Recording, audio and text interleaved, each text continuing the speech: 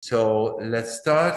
Um, we are a bit in advance, uh, but we are still respecting the 15 academic. Oh, I can pull off the mask. That's a liberation. Thank you. so um, we are keeping with the tradition that we started a few years ago of having some outstanding lectures in the field of immunology, I'm saying. Um, I remember you, we hosted here the Nobel Prize, Jim Allison, for um, the uh, laurea honorem. And uh, he talked about the, uh, the conquest uh, of immunotherapy. Um, now we are, have the privilege of uh, um, hosting another person who has shaped the way we live, uh, thanks to the immunology. Professor Özlem Türeci is here because uh, a few years ago, before the pandemic, when we didn't have any idea that this was possible, we organized a winter school, uh, a collaboration between the German um, uh, Society for Immunotherapy, KIMT, and Özlem is president, and uh, um, the PhD school uh, in life and health science. At the time, I was uh, president of the PhD school. So the idea was to train early career scientists, specifically in the field of uh, cancer immunology and immunotherapy. So everything was stopped uh, because the school had the winter school had to occur had to start in in uh, March, and we were in lockdown in February. So this is the first time we are rejoining and convening in presence for a summer school that is going on uh, in Ilasi, and uh, uh, we have 24 students from all over the world, from 12 different countries that are participating at the moment. So uh, graciously, um, she agreed to give us a lecture. Just a few words for those of you who don't know uh, Özlem. She is professor of personalized immunotherapy, right? In Mainz University, the University Medical Center in Mainz, uh, but also at the Tron. And uh, she has founded uh, different companies. She founded uh, Ganymed, uh, and she was uh, CEO of that company. And she founded what you know probably better, um, a company called BioNTech that um, has uh, contributed to the race for vaccine discovery.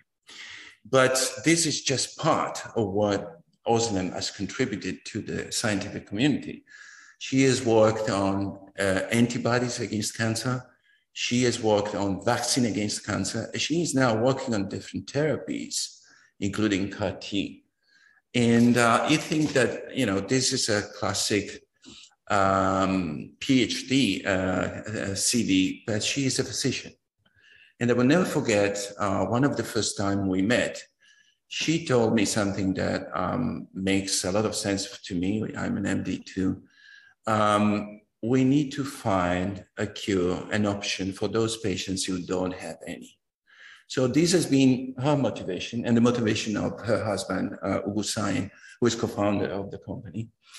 And I remind you that she was leading, and, and they are still leading, the uh, Lightspeed project, right? Who allowed in less than one year to have a vaccine that has been uh, administered worldwide. Today, she will talk about this technology, the RNA technology, and we are collaborating on this technology as University of Verona in uh, covering different aspects for cancer immunotherapy to infectious diseases uh, prevention. And again, um, thank you for accepting the invitation.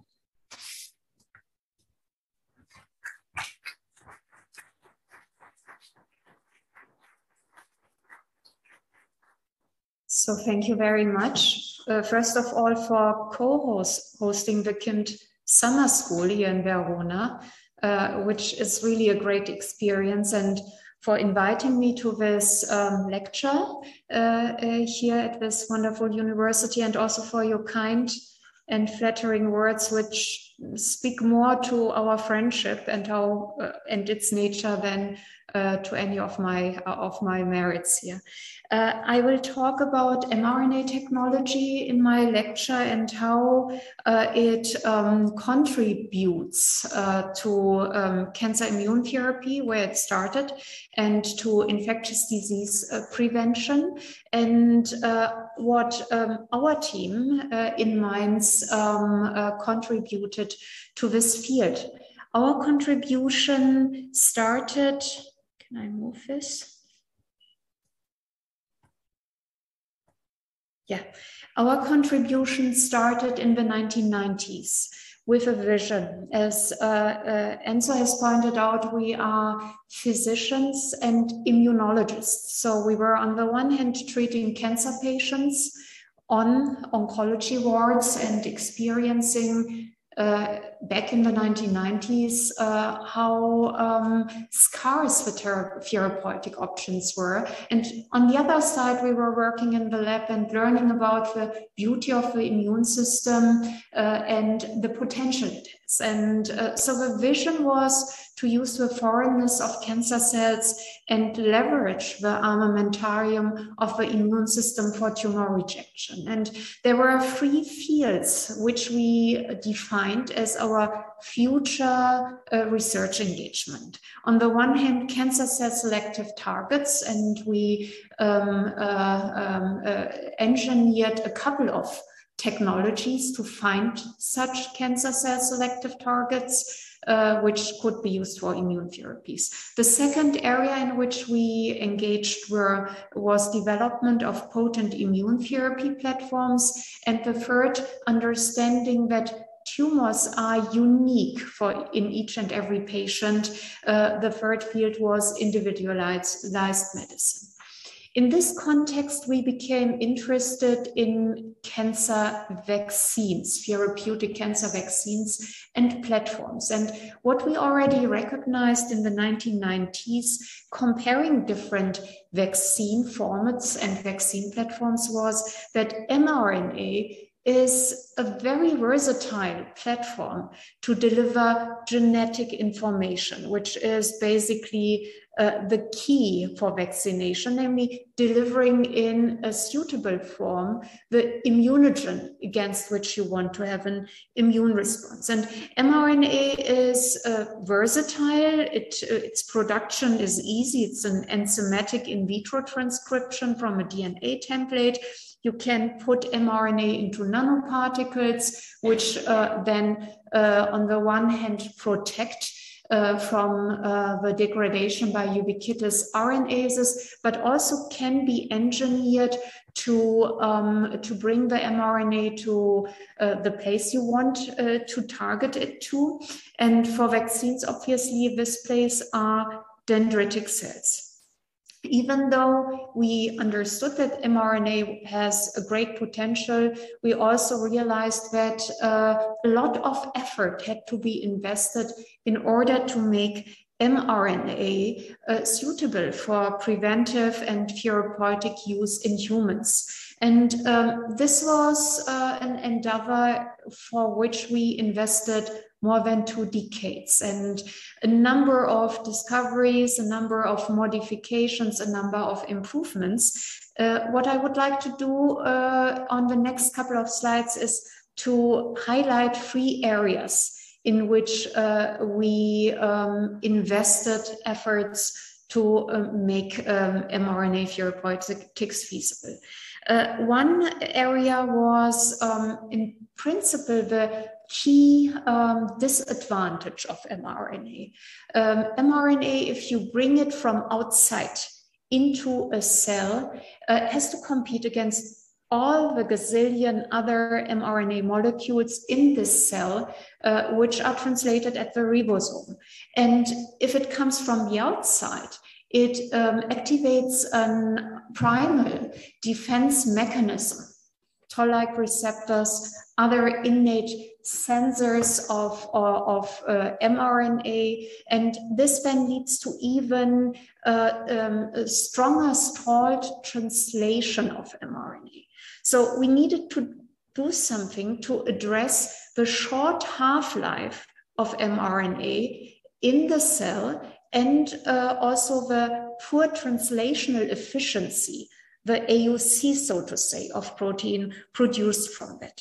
And what we um, found out was that the non-coding elements of mRNA can be tweaked and designed to give mRNA, so to say, a VIP pass at the ribosome, meaning to increase the half-life of the mRNA so that more molecules of protein can be translated and also the translational efficiency, so the potency of protein translation, and by this, then also the potency of an mRNA vaccine.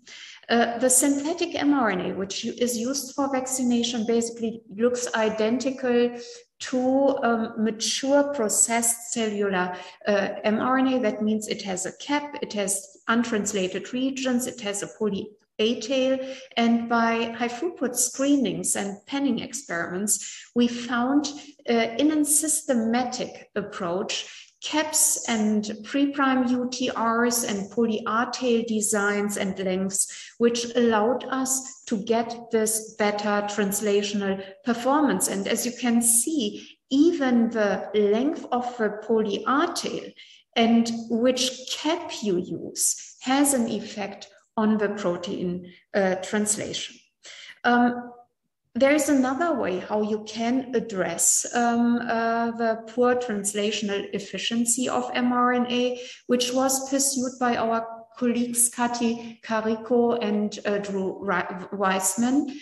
Uh, they um, uh, addressed the fact that uh, defense mechanisms of mRNA stall mRNA translation. And they understood that the reason for this are the uridines uh, one of the nucleotides of the four letter code of mRNA. And if you um, use uridine containing mRNA, the innate immune sensors bind this and stall mRNA translation. But if you um, uh, substitute the uridine by other naturally occurring nucleosides, such as, for example, pseudomethyluridine, this does not happen and you get good mRNA translation. And the same effect we got by modifying the non-translated non, um, uh, elements of mRNA. At that time, I have to admit, we were not very interested in this type of technology because we were really focused on using mRNA as a vaccine for uh, for tumors therapeutically. So there was a lot of tumor mass, and we needed a strong immune response. And we wanted to benefit from the excellent intrinsic adjuvanticity of mRNA. And therefore, all our cancer therapies are based on uridine mRNA. I may add here um, um, the modification of the non-translated elements was done in human dendritic cells because this is really cell uh, type specific and was an important part of our approach. The, so the second area in which um, uh, we, we worked uh, extensively uh, was um, the um, identification of lipid-based envelopes, uh, so delivery technologies for bringing mRNA into dendritic cells and not only any dendritic cell, dendritic cells in lymphatic compartments, because these are the places, the professional and natural places in which priming of strong T cell ex, uh, uh, responses and, and expansion of T cells, CD4 and CD8 T cells takes place. What we had um, observed uh, was that the, there is an impact of the delivery route uh, on vaccine-induced T cell response. Back in those times, there were already cancer vaccination trials ongoing in patients with peptides, for example. And the approach, the delivery route, which was used was intradermal or subcutaneous. And what we found out was that uh, this um, results not in, uh, in uh, uh, uh, meaningful T cell responses against the used antigen only if we injected the mRNA into lymph nodes, into lymphoid compartments. And this was done in mice by basically surgical means. Uh, then uh, we get good immune responses, CD8 cells expanded in those injected lymph nodes, but also circulating and blood in blood and spleen, so being active systemically. And the T cell responses were really strong. Uh, this, these are injected lymph nodes, and you see a strong proliferation of CD4 and CD8 T cells against the vaccine antigen, which was injected. What we also found out that this is a very fast process, mRNA, naked mRNA, not enveloped in any way, injected into the lymph node is taken up very fast. So within the first couple of dozen minutes, into certain cells. Everything which is not taken up is degraded by RNases, but this accumulation in cells is very strong and very fast. And these cells are uh, resident dendritic cells, CD11b positive cells. And we also found out that this mechanism of uptake is macropinocytosis. It can be entirely inhibited by rotlerin as immune responses induced by this methodology. Um, this was an important finding that macropinocytosis is a constitu constitutional natural mechanism uh, for take up uh, of such mRNA. And we uh, tested this in humans as well, injected into lymph nodes naked mRNA, which can be done under ultrasound control, and found out that, that the mechanisms are the same there and immune responses are induced in a very strong and unprecedented way. So we asked the question is if injecting a single lymph node uh, via this mechanism ends up in a strong immune response, shouldn't the um, targeting of all lymphatic compartments in the body not be even more potent for vaccine induction? And um, therefore, we defined as a next uh, upgrade uh, project uh, to um, uh, develop a liposomal combination, with, uh, a liposomal formulation in which we could envelope the mRNA, inject intravenously, but target these liposomes in a very selective way into lymph, lymph node uh, or lymphatic compartment resident dendritic cells. And we used the concept that macropinocytosis as a mechanism can help us, and we need uh, we would need the spe specifications for those liposome mRNA lipoplexes or nanoparticles, which would support macropinocytotic uptake. Um, experimenting with different liposomal combinations in mice, we found that uh, DOTMA DOPI formulated mRNA, and these are lipids which are already used in the clinic, which is contraintuitively um, uh, uh, in terms of charge close to neutral and medium sized and with low polydispersity. Nanoparticles of this uh, specs allow us to prevent the first pass effect and expression, uptake and the expression of the antigen in the lung, which normally happens when you inject intravenously such nanoparticles. But what we actually get with this, these specific nanoparticles is accumulation selectively in lymphatic compartments, for, for example, the spleen, which is the largest one, and their expression in, in the resident dendritic cells. And we could show this with uh, depletion experiments. We only get strong immune responses and also expression of the respective protein uh, in, um, uh, in uh, if we don't de deplete resident cells and this is not only in the spleen but also in lymph nodes body-wide and in the bone marrow. And um, we found out that these RNA lipoplexes uh, in mice um, uh, uh induce strong immune responses They are, as I said, primarily translated in dendritic cells resident in lymphatic compartments. Uh, the RNA brings in its um, adjuvant, its intrinsic adjuvanticity, namely that it binds, single-stranded mRNA binds to um, TLR7, TLR8, but also other innate immune sen sensors. And this triggers a very strong uh, but distinct um, uh, cytokine uh, signature dominated by interferon gamma uh, response. And this again results in potent induction of antigen specific T cells, as we have shown in different models, and translates also in different to treat tumor models to anti tumor response uh, and to growth inhibition of tumors.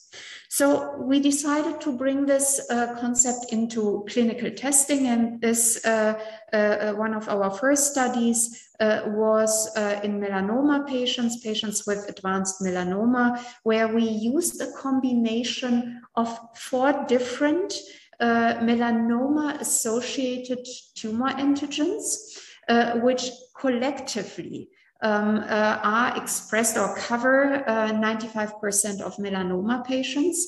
And uh, this was a phase one, two st uh, study in which uh, we tested uh, different dose levels, tested this vaccine as monotherapy, but also combined with anti-PD-1 compounds, which uh, are um, uh, uh, approved in, in this setting and assessed immune responses and, um, and also anti-tumor responses in this, in this heterogeneous patient population. First of all, it was uh, encouraging for us to see that in terms of mode of action, which we had described in mouse models, we uh, could see the same effects uh, in humans on three different levels. One level uh, was that we could see shortly after injecting the mRNA systemically, um, after a couple of hours, metabolic activity by PET-CT in uh, spleen, um, uh, which uh, uh, indicated that we have a mobilization, a proliferation of, of immune cells, similar as we have seen in mouse. We could also reproduce um, uh, the intrinsic adjuvanticity of uh, the mRNA. Uh, this is uh, data from one patient who, uh, uh, in weekly intervals, received increasing doses of the vaccine uh, low doses, as you can see. This is how potent our platform is. And what we could see is an um, uh, a dose dependent increase of exactly the uh, same uh, cytokine profile, interferon alpha and gamma dominated uh, uh cytokine profile in these patients. Uh, not supraphysiological, so that we did not induce cytokine release syndromes and pulsatile. So this peaked two to four uh, within two to four uh, hours after vaccination and was back to uh, normal in uh, within 24 hours. Uh, but uh, in a way that we could the required activation of immune responses on top of the antigen we had presented via the vaccine. And indeed, on the third level now, we were able to induce T cell responses. And this, for example, uh, is um, the T cell response against one epitope of one of the antigens this patient's patient has been uh, immunized with, uh, with. We have polytopic immune responses. So this is really only a fraction. And what we observe that even this one fraction of a polytopic uh, immune response is um, up to 10% of uh, the uh, of the circulating CD8 cells of this patient. Uh, so these are dimensions you normally uh, seek to reach with adoptive T cell uh, transfer. So this was very encouraging. What we also observed was clinical activity. These were very advanced patients, and this is a, subset from this study in which we treated more than 100 patients, namely patients who had stage four disease uh, at uh, uh, inclusion into this trial and had been heavily pretreated, including checkpoint inhibitors, and were now receiving the vaccine in combination with a checkpoint inhibitor or not. And as you can see here, there is a strong um, uh, clinical activity with target lesions, which are regressing, and uh, some patients having durable immune responses. In the recommended phase two dose, we selected uh, uh in a patient subset with anti-PD-1 refractory and resistant disease we saw in combination with anti-PD-1 uh, tumor, uh, an objective response rate, rate, uh, rate of 35%, which with standard of care would be 10%. And uh, this trial now has led to a randomized phase two trial uh, for which we will have data uh, this year. So the third area in which uh, we uh, invested efforts was towards the vision of developing individualized, truly individualized cancer vaccines that are really tailor-made for each patient um, uh, on demand, so to say. And the basis for this is that uh, the most interesting tumor associated tumor antigens are somatic cancer mutations. That means really mutations which happen in the cancer are not expressed anywhere else. They are highly selective and there is no immune tolerance against which you have to work. And these um, tumor uh, cancer mutations can give rise to neoantigens when they create uh, binding motifs for MHC class 1 and MHC class 2. Uh, the drawback here is that uh, cancer mutations are randomly uh, uh, happen randomly over time and therefore are highly individual to patients and a very good platform to be used for highly individualized immune therapies. And what that really means is that you take a sample of a tumor from this patient who is newly diagnosed uh, and a PBMC sample as normal counterpart. Next generation sequencing is performed to identify the mutanome, so the entire, entirety of mutated uh, uh, of mutations in this patient's cancer and every cancer look different in there if you want to do this on an individualized level highly sensitive highly specific you have to develop specific bioinformatical mutation detection tools. So we had to invest efforts in that.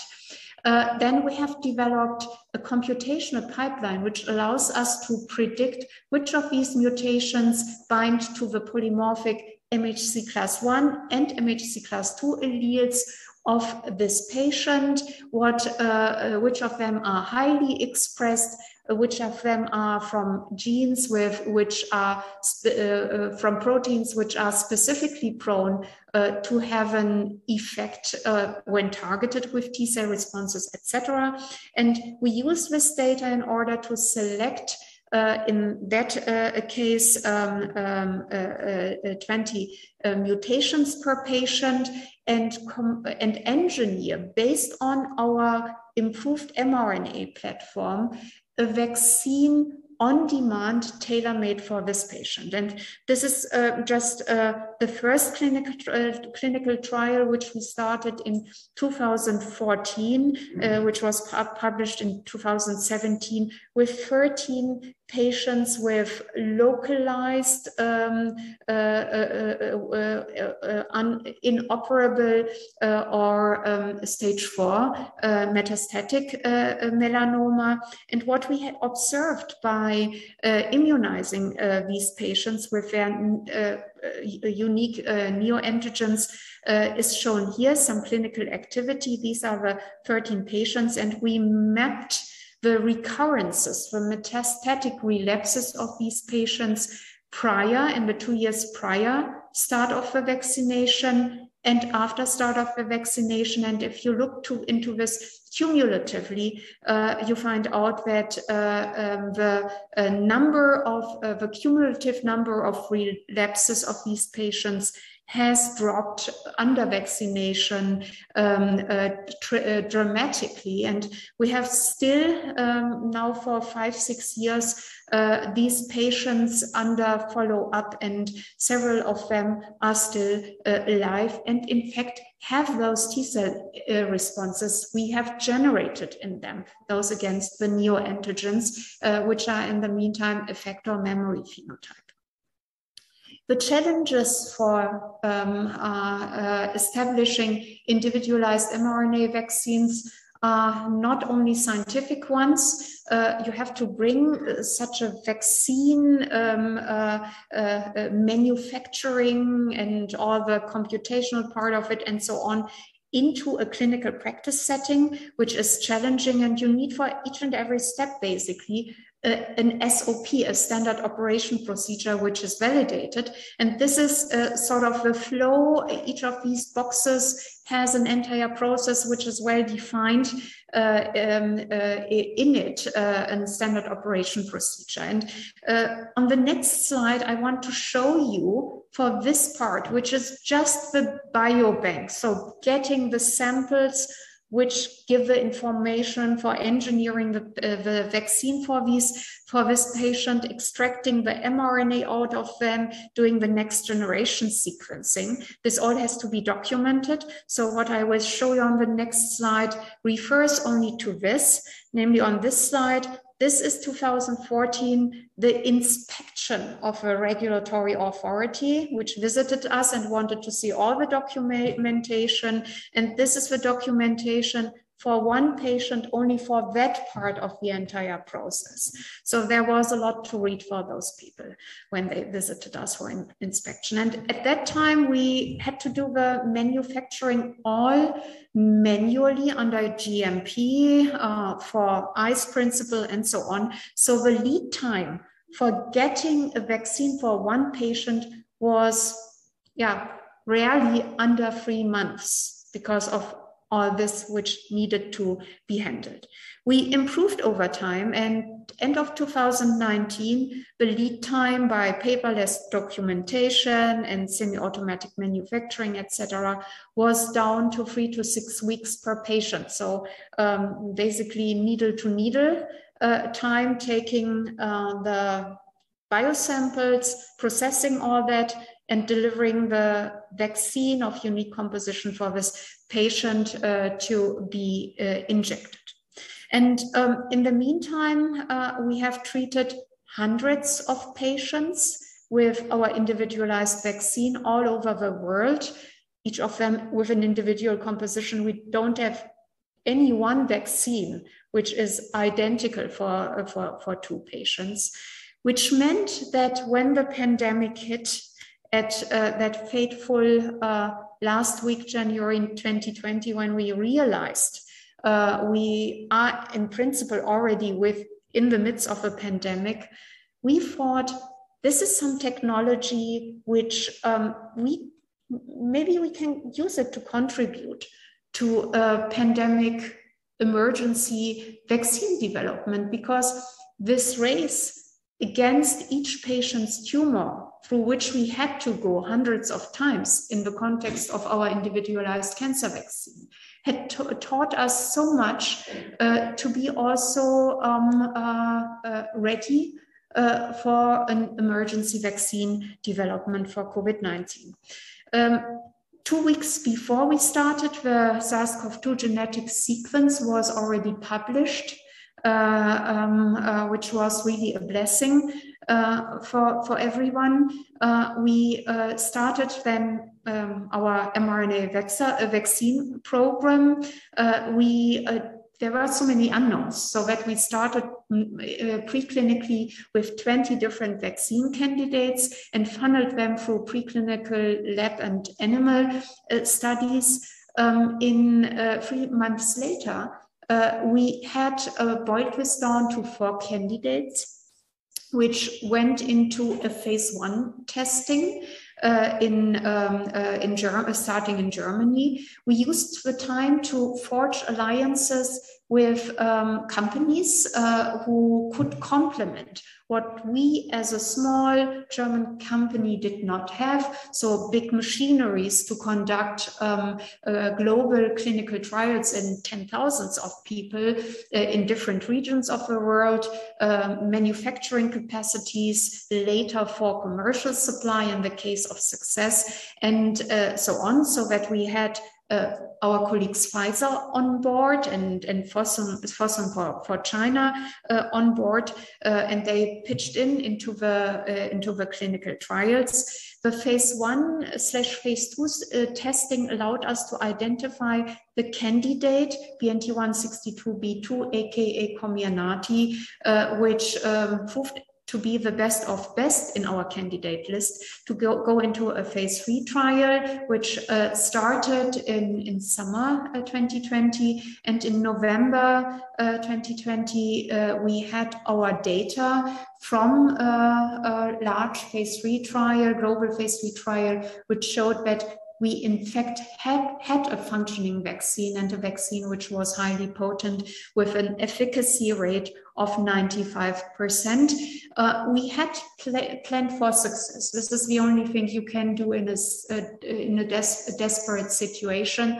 So we had started to talk to the regulatory authorities all over the world very early on and uh, had uh, um, uh, started also rolling submissions. We had uh, ramped up manufacturing capacities, has, have had bought manufacturing plants and so on, everything at risk as uh, anyway cash burn company at that time. Uh, so it was really a risky situation also for that, uh, which allowed us to be prepared also for success. And in the meantime, more than 1 billion people have been vaccinated in more than 170 regions with our vaccine. And we hear that millions of deaths could be avoided. What was important for, for us from the very beginning was that we induce a um, holistic immune response. So um, T cells as well as antibodies. Uh, in the pharmaceutical industry against um, um, respiratory uh, viruses, there is a very strong um, uh, focus on virus neutralizing antibodies, which are definitely important, in, in, in particular to prevent SARS CoV 2 infection and also transmission. But um, we have, as MDs, know that uh, also thinking of disease and severe disease and hospitalization and death is important important and here is where t cells come to play. So this uh, was an important part of that and how we selected our final candidate. Our final candidate uh, BNT162b2 has the entire encodes for the entire spike protein of the virus and uh, it is mutated uh, so that it's conformational, conformationally stabilized and that piece that docks on on the cellular receptor to ACE2 is stabilized uh, and, and, and, and is uh, um, uh, erected so that antibody bodies against this important part can be generated. Uh, there was some drama backstage uh, because um, it was very clear we could not use our wonderful um, um, uh, uh, intravenous RNA lipoplex formulation. Such a vaccine, in particular in a pandemic situation, has to be administered intramuscularly, so we, that we had to um, use a different formulation. And this formulation, which we found um, uh, with, a, uh, with a cooperation partner, Acuitas, had some own intrinsic adjuvanticity. It was not as inert as uh, our lipoplexes, which meant that we had to boil down the sort of total uh, uh adjuvanticity and go with nucleoside modified mRNA, mRNA uh, and basically redesign um, uh, the entire formulation part. Um, what we kept in mind when we designed these new nanoparticles was the need to get this to lymphatic compartments and to the uh, dendritic cells there. So for the design of these new nanoparticles, we took in account, uh, uh, um, uh, we had in mind all the specs we needed for these nanoparticles to be uh, to travel via lymphatic uh, lymphatics to uh, lymphoid uh, compartments and taken up by dendritic cells there. And as you can see here, even though we inject the mRNA into uh, uh, uh, nanoparticles into the muscle, the mRNA itself and also the protein is not detected in the injected muscle, but in uh, but is detected and expressed in the lymphoid compartments in exactly the right cells. And uh, on the one hand, this is the delivery, how we construct the nanoparticles, but it is also the selection of the non-coding parts uh, on which I had already alluded, which are, have been designed such that they are favored by dendritic cells and not other cell types. So what we saw already in our uh, phase one study was, yes, even at lowest doses, our vaccine induces not only binding antibodies, but also virus neutralizing uh, antibodies. We need two doses for this. Um, we decided to, uh, to go with uh, two doses of 30 micrograms, 21 days apart.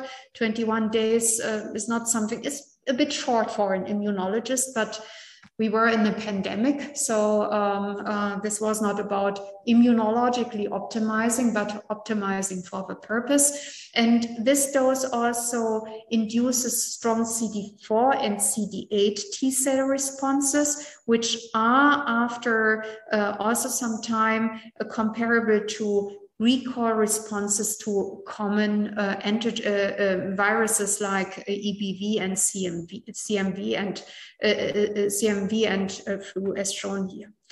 Um, the effect of all this was that, that in our phase three trial, as I said, we could show 95% efficacy uh, we treated 20,000 patients with placebo uh, and 20,000 approximately with our vaccine and uh, could see a case split of 8 to 162 uh, cases of symptomatic validated uh, um, um, COVID-19 disease and this translated to a 95% efficacy. Also in the older population, which was maintained um, uh, over a longer duration, 91% still after six months. Um, we understood very early on that just by developing the vaccine and being able to deploy it, our job probably is not done, but we have a responsibility, very radical responsibility to stay on board and think about what might come in future. And already at that time, the question was, how long will the duration of um, uh, this uh, uh, vaccination be? When do we lose uh, protection by this vaccine? Um, this is obviously very strongly entangled with another question, namely, how will the virus evolve? And therefore, to be prepared for what may come, we installed very early on, already in 2021, once we had this vaccine uh, in its first version uh, going, uh, a system, uh, um, a process for us. First of all, we developed an uh, uh, uh artificial intelligence or machine learning based early warning system, which would uh, use all the sequences which are made uh, public, for example, by uh, of uh, circulating viruses, uh, virus variants uh, worldwide, and assess each of them for um, how fit they are uh, to infect, to bind to the cellular receptor, but also the uh, likelihood of immune escape so that we had a tool to uh, stay a step uh, directly behind the, the virus. And what we then did, all um, uh, um, uh, uh, variants of concern which would appear either declared by the WHO or just because we thought this could also be a vaccine of concern, were tested with the sera of BNT162b2 vaccinated individuals in order to look on the antibody, neutralizing antibody level for immune escape. And um, everything was fine until Omicron. Uh, BA1 appeared because we could basically always see this type of, of, uh, of um, uh, um, results for the entire part of the alphabet prior Omicron. Um, this, for example, is the uh, Delta variant, which is well uh, still uh, neutralized by BNT162b2, which is the Wuhan spike, as you know, uh, uh in uh, antibodies. The one which bothered us most was the Beta variant, but it was still fine.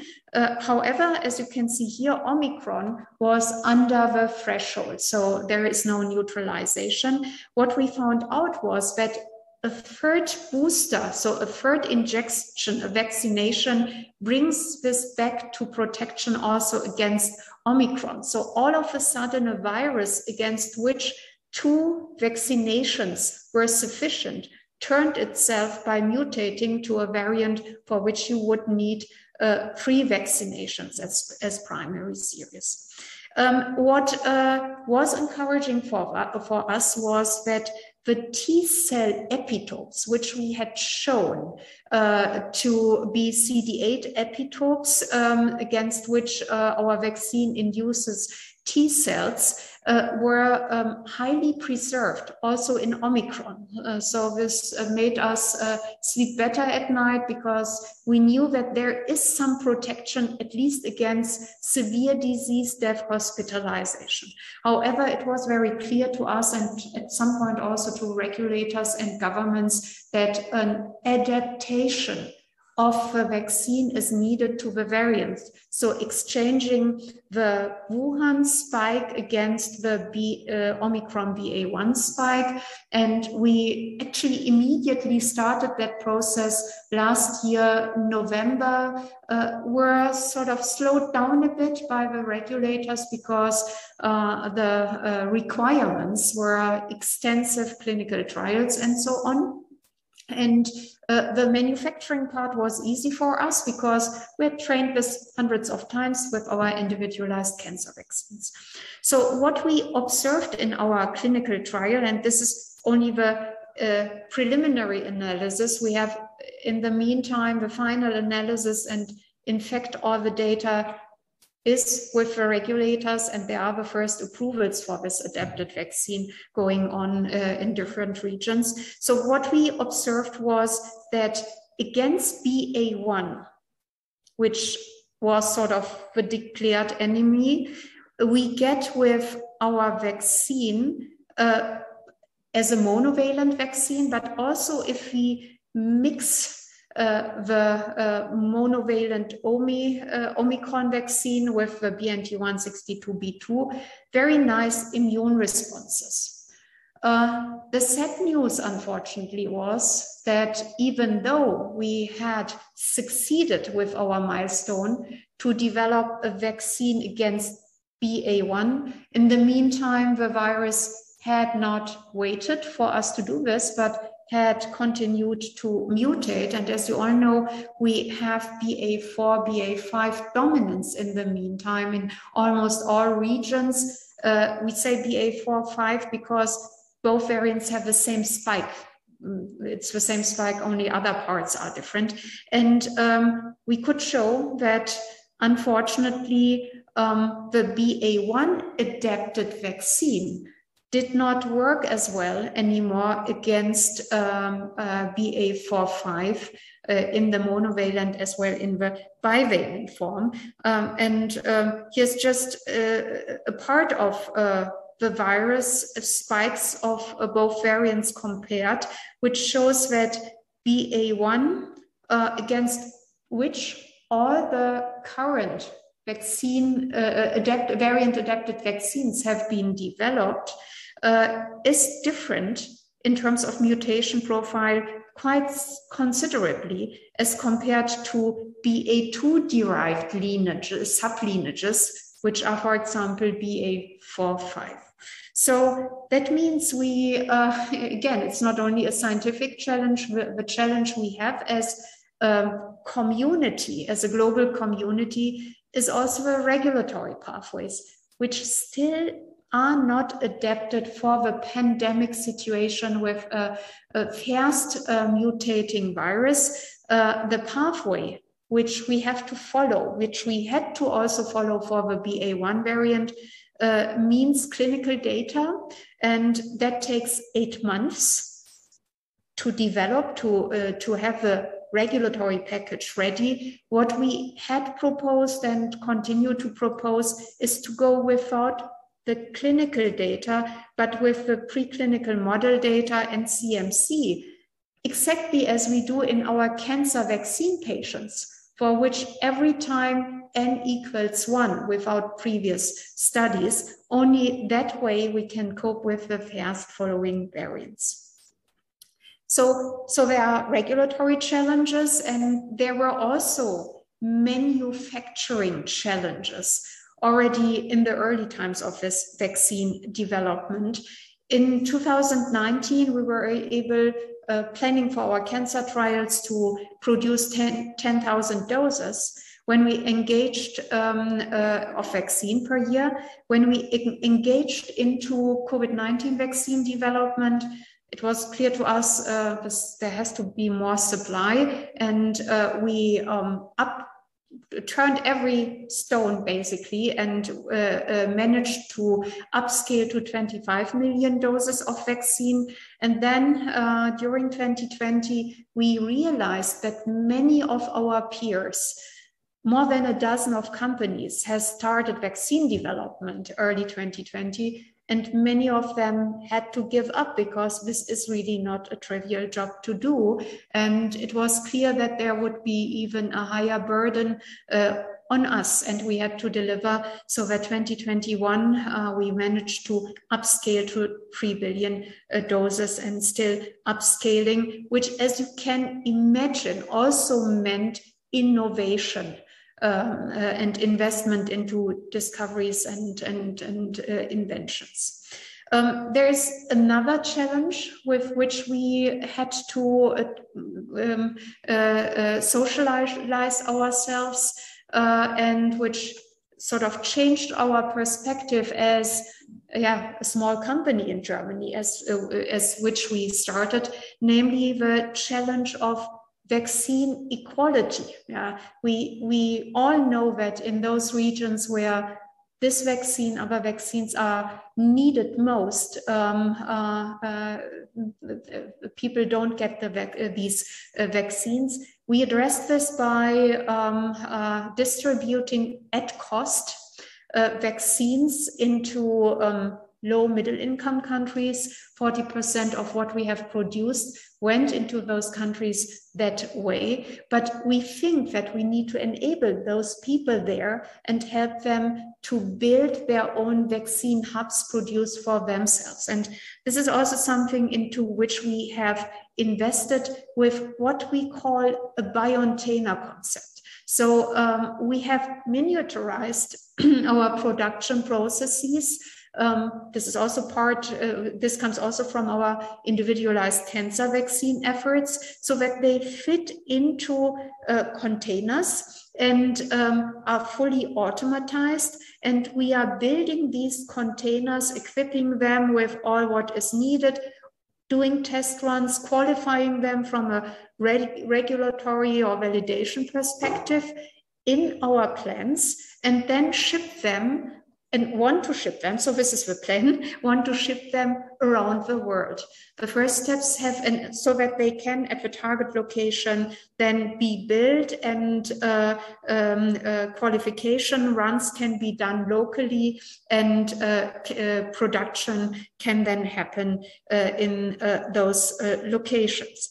And um, we have started with that on the African continent.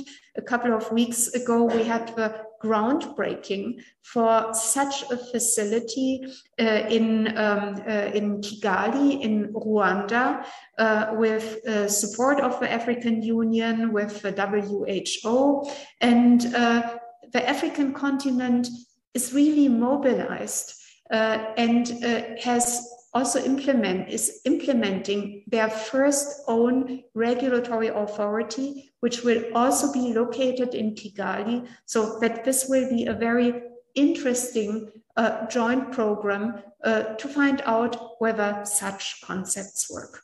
So um, this is the journey of mRNA technology from cancer to infectious diseases, and it will definitely go back with everything it has learned to cancer again. And with this, I would like to thank you for your interest and acknowledge uh, only this sort of tip of the iceberg of people who have contributed to this work. Thank you.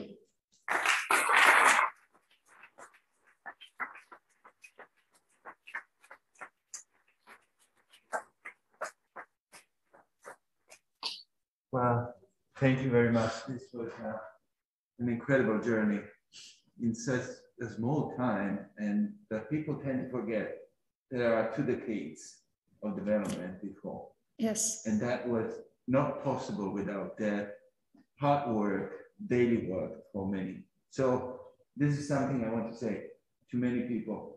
The technology was right in the moment was perfect. Absolutely. And uh, not only our work, generations of scientists have um, uh, built the foundation. Uh, so um, this does, did not come from nowhere. Exactly. exactly. So we have time for questions. Uh, actually, I don't know if there are, if there are questions from the audience because. No, nothing in the chat. Okay, so I was Isabella.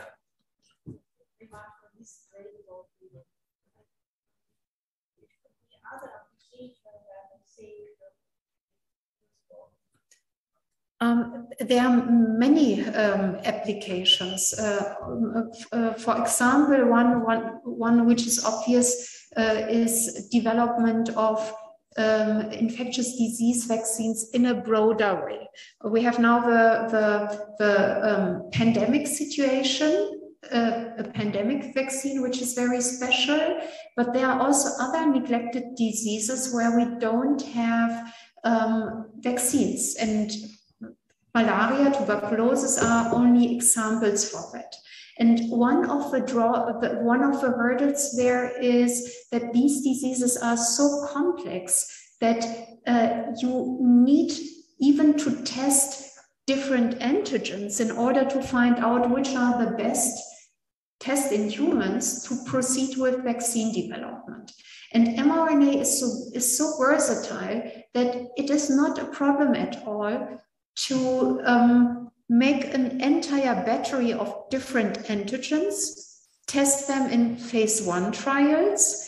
You don't have what comes with recombinant protein technology, where for each of the antigens you would need years to express and formulate the protein.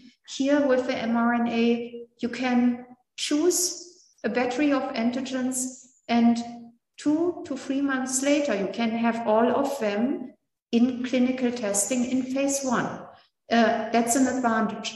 Um, uh, other areas are autoimmune diseases. Um, mRNA, the way we have built it, is a toolbox. So you can, uh, we have different um, uh, um, uh, non-coding elements uh, with which we can tweak whether we have long expression, short expression, pulsatile expression. We can um, assemble uh, the mRNA and the liposomal formulation such that we uh, don't um, um, expand CD8 T cells, but expand antigen specific Tregs which would mean applications in the autoimmune uh, realm, uh, where we uh, have projects ongoing for multiple sclerosis, for example, because antigen specific tolerance induction uh, has a, a, very broad uh, space where you can use it. Um, other uh, um, um, areas are, for example, rejuvenation, uh, because many of um, organ or, um, uh, aging processes come from inflammation. So suppress those uh, inflamed tissues are also an application. So very broad. Um, I, Will machine learning be used to predict further developments of the of the virus? Could use machine learning to predict rather than to be one step behind the virus? And another thing that I'm wondering is you, you mentioned the cancer vaccine, but when you mean vaccine, like you prevent the, the, the, the formation of metastases essentially. Uh, yes, it's therapeutic vaccines, obviously. So the cancer is already there, and uh, there are uh, um, different spaces where you can position cancer vaccines. We are very much interested in the minimal residual disease setting. So um, uh, post-adjuvant treatment, for example, where, for example, in colorectal cancer, we identify stage two high risk, stage three patients uh, with colorectal cancer, and after curative surgery, uh, uh, they go into watchful waiting, as you know, as standard, so to say. Uh, uh, in our vaccine arm, we vaccinate them. That I think is a perfect setting because immune therapy is a numbers game. If you have a low tumor load, uh, that's even more promising. But there's also the metastatic setting where, in particular, with anti-PD-1 combination,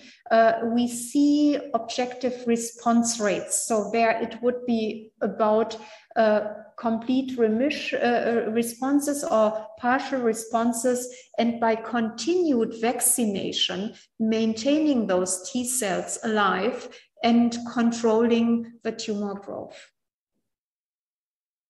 And the first question was uh, machine learning. Yeah. We are one step behind the virus for SARS-CoV-2. So because you're using machine learning to predict have the sequences, which would be the sequence that would most likely be the most the next dominant one. So could you use machine learning to be one step ahead rather than one step behind? So start to predict the conformation of the spike protein to expect what the evolution of that. Yes, we and also others are playing around with that. But uh, we are not sure whether the biological reality is such that um, uh, uh, technology allows us uh, to use, for example, machine learning for predicting what will happen. What we see is with the current um, machine learning tools or databases which we have, uh, that there is quite still some mutational space for the virus to change. Uh, we would not have predicted BA45 now, because what happened is the virus went back in the NTD domain and sort of lost what it had acquired in terms of mutations uh, for Omicron BA1 and looks more like Delta again. Uh, and this is not because of recombination, this is not a segmented virus, it's because it uh, acted contraintuitively, it appears. So there are things we might not pick up and not be able to reflect in machine learning tools, which does not mean that we shouldn't try and learn. And this is what we are doing. Francesco? Thank you so much for the presentation. Going back to the cancer immunotherapy field, I was curious, uh, like uh, your opinion about the, uh, the platform you established and all the uh, issues that you already overcome in uh, to make available a personalized vaccine for these patients. However, uh, for any kind of treatment, there are people that respond better than the others. Uh, and I guess this is, happens as well for this kind of technology. So I have a couple of good questions. The first is uh, how you can uh, manage in a short time uh, in order to understand which are the patients that are good responders. So if you can find any uh, predictive biomarkers, for example, immune response or something else to predict the patient that will uh, respond better to the treatment.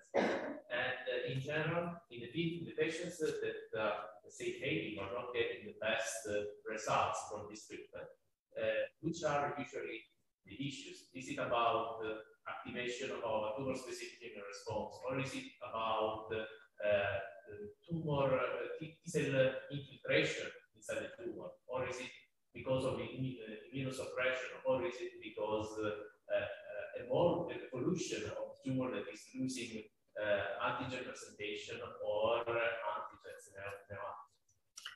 Yes, these are important questions and uh, uh, should be, and, uh, and in our case also are parts of a clinical development program to um, collect as many as possible meaningful full biomarker data points and characterize them and meta-analyze them because uh, in general doing this in only one study is not sufficient. It, needs to be validated across different uh, sort of cohorts. Um, we are doing that. We um, uh, have uh, indications which um, might also be obvious uh, what predictive markers uh, might be. Uh, cold tumors um, respond less well as compared to, to, to, hot tumors. Mutation-rich tumors respond better. So there are a couple of, uh, of observations, uh, but it really needs more data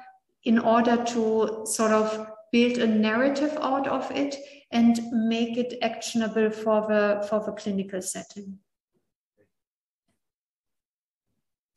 Other questions? Let's see if there is any. It says, can I make a question? Yes, oh, you yeah. can. Hello, can you hear me? Oh, oh can yes. hear you? I okay. So yeah, I'm just a voice.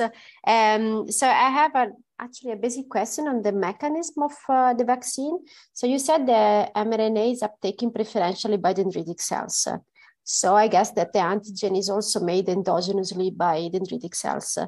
And do you have a specific strategy uh, that are, uh, is enhancing uh, MHC class 2 presentation of those antigens that are made endogenously in dendritic cells? Yes, we in fact have. Uh, that's part of, of uh, uh, the optimization of, of mRNA backbones. That, so the first, first part of the three parts of, of, of efforts I have described uh, what we uh, have observed is that uh, if we if if we use um, uh, a secretory domain yeah. uh, in front of uh, of the respective antigen. so so um, enter N-terminally and C-terminally the in uh, the, uh, the intramembrane and intracellular domain part of an MHC class 1 molecule, we get uh, on the one hand uh, CD4 responses, uh, so presentation of MHC class or on MHC class 1, uh, MHC class 2, which is not the case uh, for this uh, exogenously delivered mRNA uh, otherwise in dendritic cells. And we also get an increase, a strong enhancement of uh, MHC class 1 response. So there is also a tinkering uh, in uh, the design which increases MHC class 1 and MHC class 2 responses. Okay, thank you. Um, I do have one last question. Um, no, okay. Oh, there is another question, so it's not last. Okay, you, you go first. Uh, thank, uh, thank you so much for the talk. That was, that was so much that I didn't realize about. Um, I was just wondering, in terms of the cancer vaccines, um, have there been any significant side effects um, as well? Um, yeah, no, um, uh, we, we had to do a dose finding, obviously. Uh, we have defined 50 to 100 microgram um, per uh, vaccination uh, as, as our dose because we see very strong immune responses and it is well tolerated at that dose.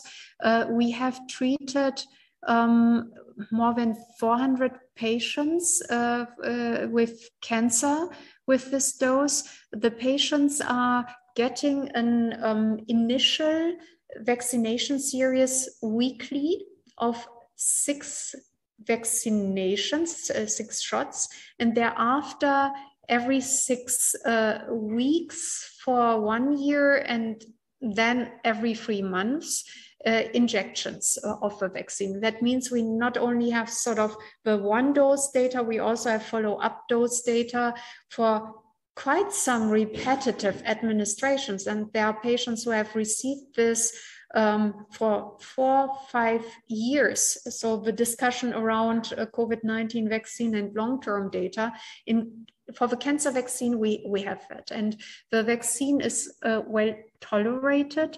We see um, reactogenicity, so patients can have fever, chills, uh, this can also be grade free so that you really give need to give something which is uh, uh, uh against the fever and the chills or fatigue um, or uh, arthralgia. So everything which is sort of flu like which is understandable with intrinsic adjuvanticity uh, it is manageable uh, and uh, can be, for example, treated with um, uh, paracetamol uh, so that um, uh, we uh, even consider to um, develop the vaccine for community hospitals, for example, on an outpatient basis. I enjoyed your lectures. Thank you very much. Curiosity, if you ever college, maybe apply for see that there is mucosal immunity. And the related question is that eliciting mucosal immunity may be important to protect also against the, the infection, not only the disease. What are your thoughts about this issue? Yeah. We, we are working on mucosal vaccines. Uh, we are experimenting with uh, other types of formulations, for example, for nasal vaccines, also in the COVID-19 setting. And uh, that's obviously a field into which one, one should invest uh, some, some efforts uh, because we cannot answer yet uh, um, uh, how, how much mucosal immunity we get with all the uh, in, uh, intramuscularly administered vaccines. From real world data, we know that BNT162b2 is, has also a strong infection protective uh, um, uh, component. So um, if uh, the mucosa plays an important role there, we might induce some immunity also there, uh, migrating T cells, for example. Well, if there is no other question, I would like to close this excellent lecture. Thank you. Again, thanking you again. And I will just um, remind that uh, Stefano is uh, responsible for a project collaboration ongoing with BioNTech uh, within the framework of the National Center for uh, RNA Therapy that was uh, recently supported by um, Next Generation EU funding in Italy. And this will be about autoimmune diseases as possible potential application extension. So again, thank you very much for coming. And I think everybody is excited to have listened to a piece of history